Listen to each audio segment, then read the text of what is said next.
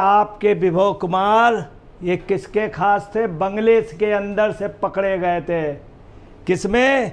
एक महिला को लातों से, थप्पड़ों से मार रहे थे। ये विभव कुमार, पहचानिए कौन चेहरा है? किसका खास है? इनका खास।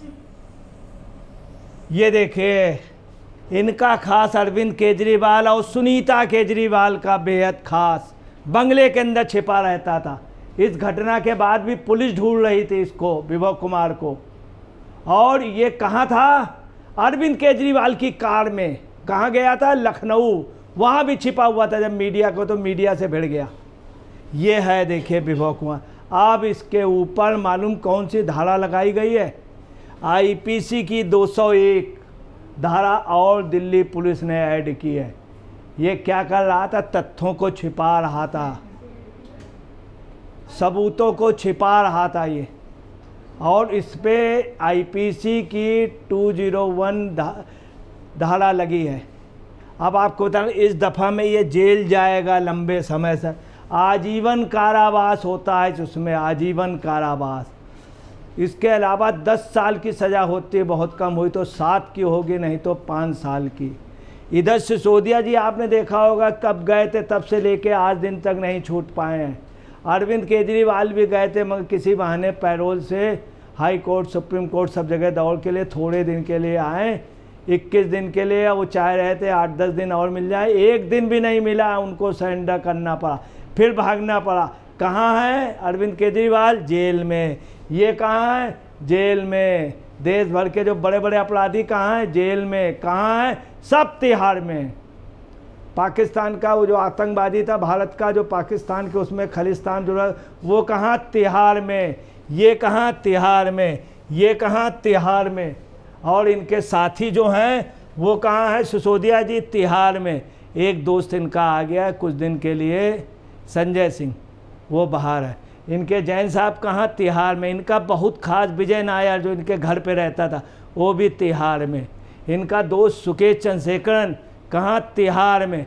तिहार में बस्ती बन रही है पूरी। सुनीता जी कहाँ रह रही है? शीश महल में।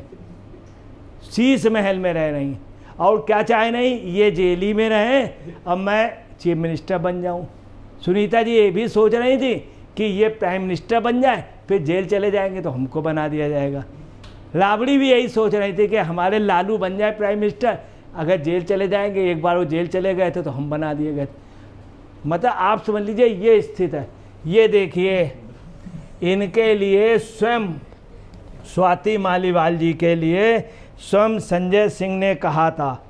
और संजय सिंह ने कहा था कि ये एक स्वाति मालीवाल एक देवी हैं और बहुत बड़ी समाज सेवी हैं, बहुत वो काम करती हैं और महिला उद्धार पे उनका बहुत बड़ा योगदान है। और हम सब उनके साथ हैं। जब ये घटना हुई थी तब संजय सिंह ने कहा था, हम सब उनके, उसको दंडित किया जाएगा। इन्होंने कहा था विवेक कुमार के, उसके बाद सुनीता जी के सामने वो भी सरेंडर कर गए। स्यों स्यों करने लगे। जेल से आए, अपनी माता जी और पिताजी कुन्ने सीधे वहाँ गए पैर छूने। कहाँ, सुनीता जी के यहाँ। अब इनके साथ क्या है? देखिए, इतनी धाराओं के साथ ये बंद तो वही हैं। कहाँ तिहाड़ में? ये सब पूरी पूरी और तिहाड़ जेल में किसका शासन है? किसके अंडर में आती? इन्हीं के अंडर में। इनके एक साथी वहाँ मालिश कराते थे, जैन साहब बड़े ऐश से रहते थे। स्वयं सुकेत चंद्रशेखर ने इनके लिए कहा कि, मनीष सिसोदिया और संजय सिंह जो है, वहाँ के अपराधियों से साठगांठ किए हुए, लोगों से कहता हम तुमको छुड़वा देंगे, ये करा देंगे, करोड़ों रुपया आय करा। इनका खास सुकेत चंद्रशेखर ने बात कही। सुकेत चंद्रशेखर दूसरी आपको बता दें, इनके मामले में कविता के जो खास थे बुच्ची बाबू, उन्होंने बताया कि किंग पिन यही है। ये मैडम जो इनके साथ थी बहुत, इन्होंने बताया यही है हिटमैन जो मार के भाग जाता है। यही है केजरीवाल। और अब ये कहाँ है? जेल में। क्या कह रहा था कि हमको अगर आप लोग वोट दे देंगे तो हम यहीं रहेंगे, जेल से छूट जाएँगे जनता ने नकार दिया है। अगर ये बात ना कहते तो आप पार्टी मिलता। ये तो खुद तो डूबे। साथ में जिस जहाज़ ने लिफ्ट दी थी, उसको भी ले डूबे। उसको भी ले डूबे। और पूरा जहाज़ डुबोने के बाद अपने सीधे निकल गए, चूँकि इनको समुद्र के कीचड़ में रहना ही था। ये आप सब उतर गए, कूद गए जहाज़ से। कांग्रेस का डूब गया, कांग्रेस ने तुरंत इनसे किनारा कर लिया। आपको बताना है, आप पार्टी के से समझौता ना करने पे कांग्रेस के वहाँ अच्छे सांसद निकले, पहले भी निकले थे, इस बार भी निकले, सात आठ सांसद निकले। और इनसे समझौता करने के बजाय दिल्ली में क्या हुआ, कांग्रेस के कम से कम आपको बताना है, चार पाँच सांसद होते हैं। ये कटु सच है कि शुरुआती दौर में जयप्रकाश गुप्ता और पूर्वी उसमें कन्हैया कुमार अच्छा लड़ रहे थे कांग्रेस के अच्छा लड़ रहे थे। मगर इनका जहाँ मिश्रण हुआ, ये जहाँ गए, एकदम से जहाज़ डूब गया, कन्हैया कुमार डूब गया और साथ में जयप्रकाश गुप्ता भी डूब गया। और वो लोग अपने आप निकल गए बहुत बहुमत से जीते। हकीकत है इनका जहाँ जहाँ पैर पड़ा वहाँ सत्यानाश हो गया। और आपको जो सबसे बड़ी बात बताना है, सुनीता केजरीवाल का जहाँ जहाँ पैर पड़ा है, वहीं वहीं सत्यानाश हो गया। जब से शीज महल में आए तो ये मुसीबत में तब से पड़ गए। जो जो आया उनसे मिलने, वो जेल चला गया। वो जेल चला गया। और देखिए, अब देखिए क्या है। इनका जो कार्यालय था वो भी कोर्ट का आदेश हो गया, पंद्रह जून तक इनको खाली करना। चूँकि इनका बहुत बड़ा सोच था कि पूरा हम सत्यानाश करके जाएँगे, पूरी पार्टी सबको जेल भिजवा देंगे, साथ में कार्यालय भी जो है सीज करा दें। सिर्फ़ शीश महल मेरे पास रहेगा, उसमें मेरी फैमिली रहेगी। और केजरीवाल क्या कहाँ रहेंगे?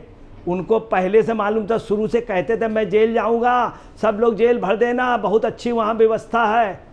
और देखिए क्या है, अभी पूछताछ बाकी है, उस पूछताछ में इनसे भी देखिए, ये केजरीवाल जी और केजरीवाल की मिसेज, ये माता जी हैं, ये उनके माता पिताजी हैं। देखिए कितना बड़ा ड्रामा, ये पैर छू के छा रहे थे, खूब इमोशनल ब्लैकमेल किया जनता को।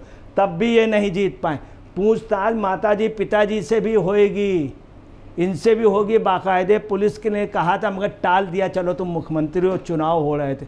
मैं आपको बता रहा हूँ, ये शख्स सिर्फ़ अपने, उसमें पब्लिसिटी में अपने बूढ़े माँ बाप जो वास्तव में बेचारे अच्छे हैं, उनको भी राजनीति में खींच रहा, पब्लिसिटी में।